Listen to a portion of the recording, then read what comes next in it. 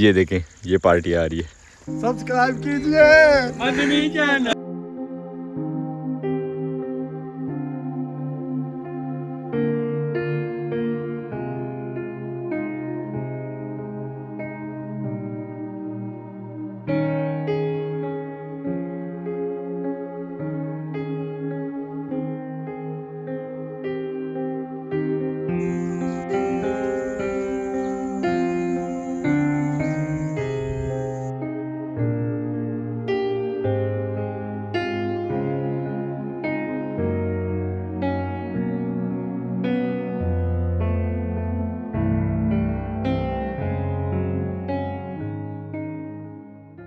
बसमीम अस्सलाम फैमिली खुश आमदीद कहते हैं आपको अपने आज के ब्लॉग में। हम हैं अल्हम्दुलिल्लाह फार्म हाउस पे और जैसे आपको बताया था, हल्दी वाली क्यारी में से घास जो है वो हमें साफ़ करना है।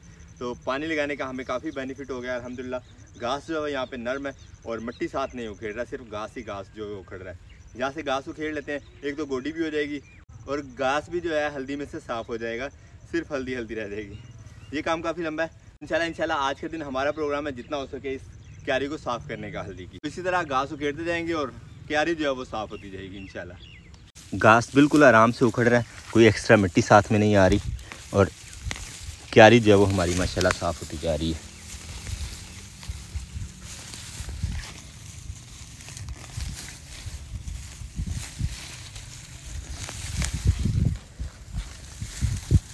बस अकेले होने की वजह से ये काम जो है वो काफ़ी टाइम लेगा। खैर, अब जो करना वो तो करना ही है ना फिर।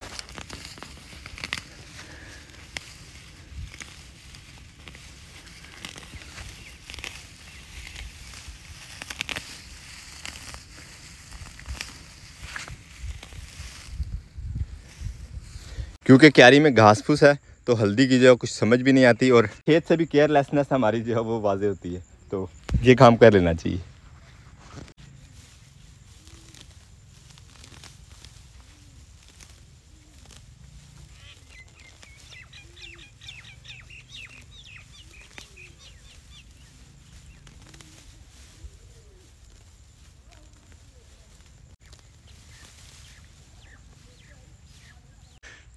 माशाल्लाह। पहली क्यारी में से हाफ़ तकरीबन जगह जो है वो हो गई है साफ़, लेकिन घास इतना बड़ा बड़ा था, देखिए पौधों की उन्होंने रुख ही चेंज कर दिया प्रेशराइज करके, पौधे एक साइड को बैंड हो गए मैं सारे। और जो छोटे छोटे थे, वो तो नज़र ही नहीं आते थे ना। खैर, इसी तरह, वो वहाँ तक एक क्यारी है, इसको साफ़ करते हैं, फिर इस तरह स्टेप वाइज बाकी भी करते जाएँगे, इंशाल्लाह। गर्मी काफ़ी ज़्यादा है, और सूरज की तो तपिश है बड़ी चुभने वाली है आज, पता नहीं। मुझे फील हो रही है, काफ़ी दिन बाद धूप में आऊँ, या वैसे ही इन दिनों में इस तरह का सिस्टम है। कमेंट बॉक्स में ज़रूर बताइएगा।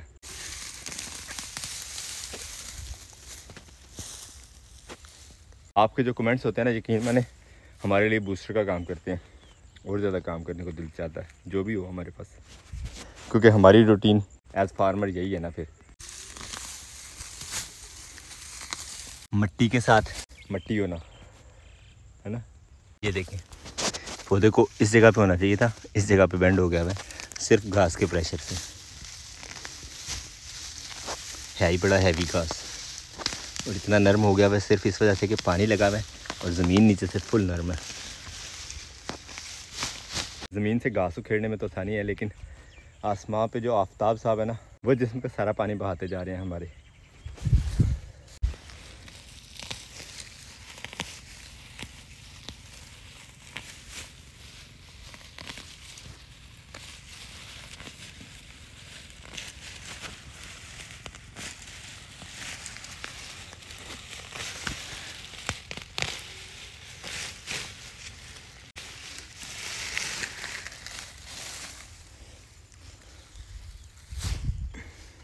अलहमदिल्ला, क्यारी तकरीबन सारी साफ़ हो गई ये एक कॉर्नर बाकी रह गया।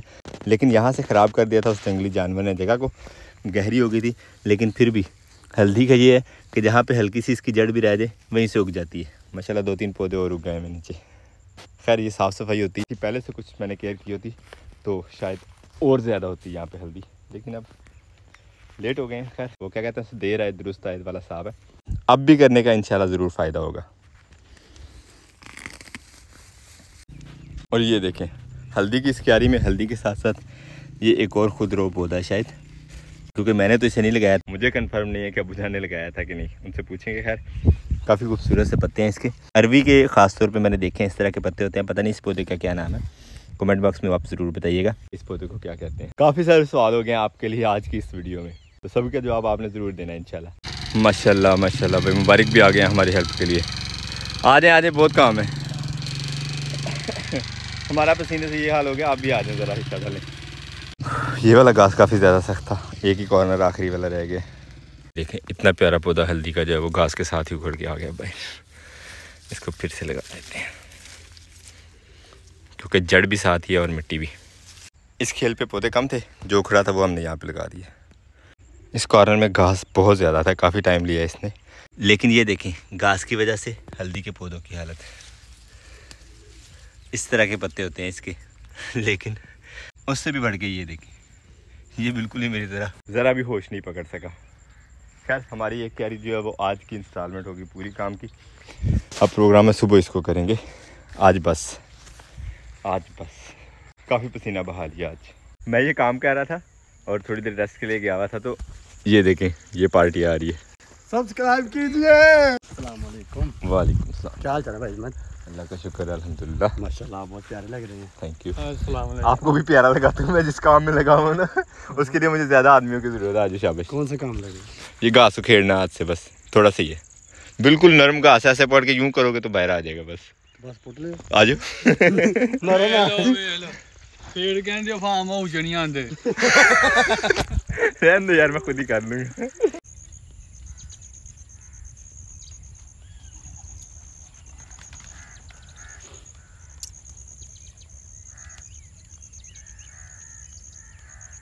खुश आमदीद कहते हैं फैमिली आपको अपने आज के दिन में।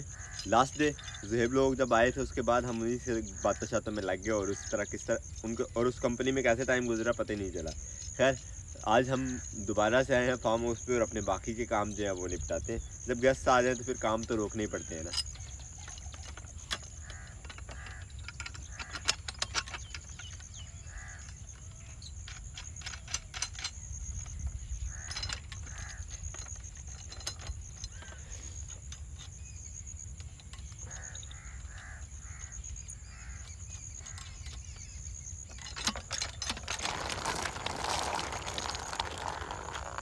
अल्हम्दुलिल्लाह पानी नलके ने नहीं छोड़ा। लास्ट पता नहीं से क्या हुआ था, चलते चलते अचानक इसने पानी वानी छोड़ दिया था। ये बॉटल्स भर के यहाँ पे रखी हुई है कि अगर दोबारा छोड़ता तो ऊपर से पानी मजीद डाल के फिर उसके बाद पानी उठाया जाएगा। खैर अल्हम्दुलिल्लाह आज इसने वैसे उठा लिया और आज सुबह मैं नाश्ता भी घर से नहीं करके आया। साथ ही यहाँ ले आए और अब इंशाल्लाह नाश्ता करते हैं। पानी भर लेते हैं अपने लिए। और नाश्ते में हमारे पास है दही। और देसी घी वाली रोटी। अब नाश्ता करते हैं और उसके बाद वो जो फैंस थी हमारी, वो भी मुझे रिपेयर करनी है। वो पता नहीं कौन तोड़ गया दोबारा से। अल्हम्दुलिल्लाह, नाश्ता हो गया। बर्तन हमने समेट लिए। अब उठाते हैं औज़ार कमरे से और चलते हैं, चल के रिपेयर करते हैं अपनी फैंस अपने पेट्स भी हमने खोल दिए। आज़ादी से घूम फिर सकते हैं जहाँ मर्ज़ी। फिर वैसे अंदर ही रहते हैं। आजकल बहुत कम है जो बाहर निकलते हैं। कुछ नहीं तो अंडे बच्चे भी निकाले में। औज़ार हमें खुरपा और कसी चाहिए होंगे। चलते हैं अब अपने काम पे। यहाँ से शुरू हो गई है ख़राब। खैर, अब आर्जी लगी हुई है तो किसी को क्या भी दोष देना। क्या कह सकते हैं किसी को जो आप काम ख़राब करने पे तुला हुआ है।